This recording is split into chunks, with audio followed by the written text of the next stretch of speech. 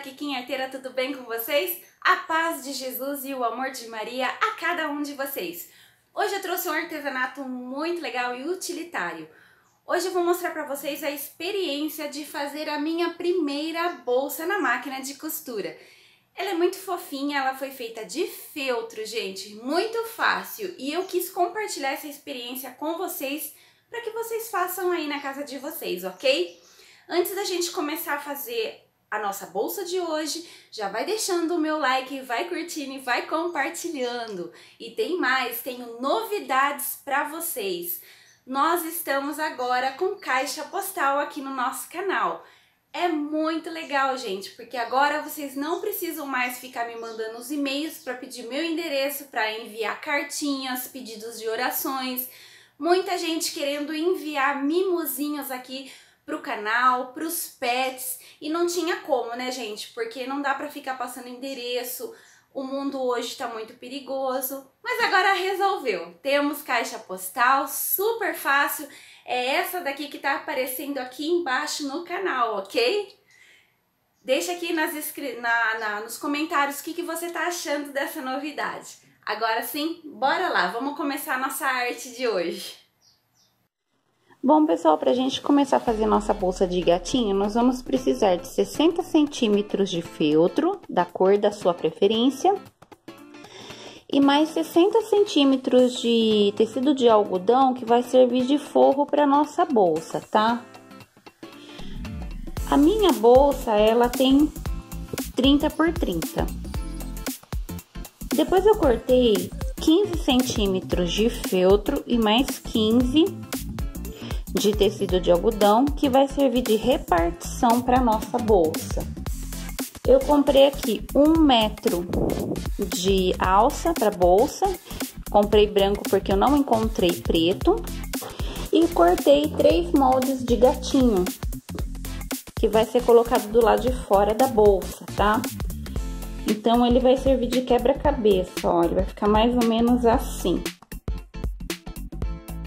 Ó. Deixa eu puxar aqui para vocês verem. Então, o primeiro passo é a gente alinhavar, montando esses gatinhos aqui no feltro preto, tá? Depois a gente vem pra passar a costura na máquina, ok? Se você não tiver máquina, você pode trabalhar com ponto bordado ou ponto caseado, com agulha e linha de crochê, ok? Então, eu vou aqui alinhavar os meus gatinhos e depois eu volto pro próximo passo. Bom, pessoal, já alinhavei, ó, já emendei já os gatinhos no forro da bolsa. Agora, qual é o próximo passo? Nós vamos pegar aqui aquela parte de 15 centímetros junto com o forro e vamos costurar aqui do lado de dentro da bolsa, tá? Então, nós vamos costurar esta parte e esta parte.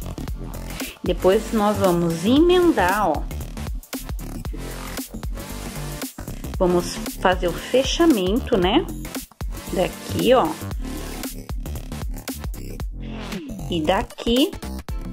E por último, nós vamos entrar com o zíper e a alça, tá? Então, eu vou passar agora aqui na minha máquina e daqui a pouco eu volto para mostrar o resultado para vocês.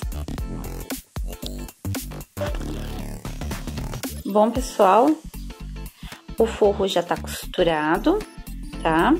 Agora, nós vamos entrar com a repartição. Vamos colocar a repartição aqui, ok?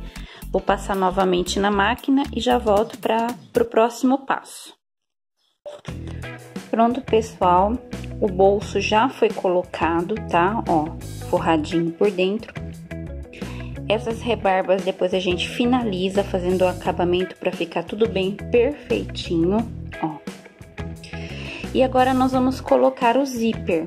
Vamos colocar o zíper também passando ele na máquina, vamos costurar com ele aberto, tá, pessoal?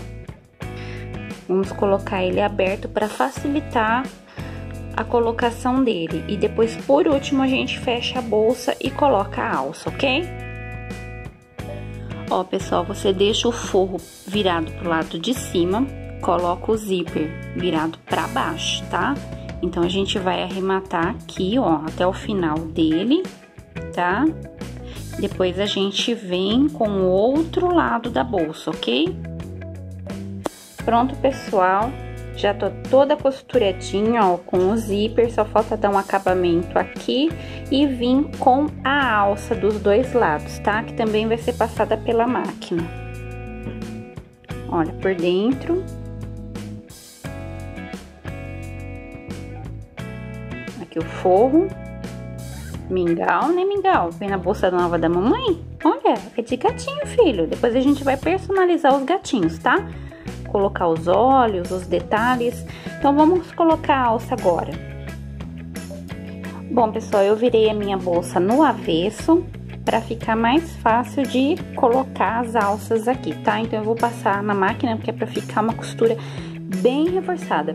Eu vou estar tá usando um metro de alça, porque eu quero fazer aquelas alças transversais, tá bom? Para ficar com as mãos livres e passar ela no ombro, tá? Então, vai ficar, a gente vai colocar nas laterais, tá? Então, até já.